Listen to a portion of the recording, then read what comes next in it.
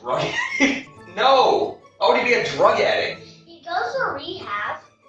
Not that type of rehab, Dawson. It's for his shoulder. He had surgery. Oh, he, he even takes like this long of pills. It's like so much, like Sunday, Monday, Wednesday, Tuesday, and even Grandma does it. Like they're all high on that. Well, they get high together. They're just popping pills, getting high together. Yes.